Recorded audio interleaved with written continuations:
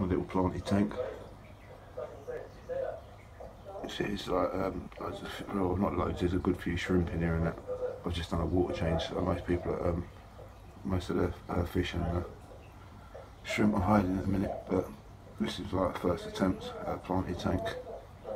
I had to let it go for a little while, sit, let it settle in before I've done a video. But it's a tiny little tank.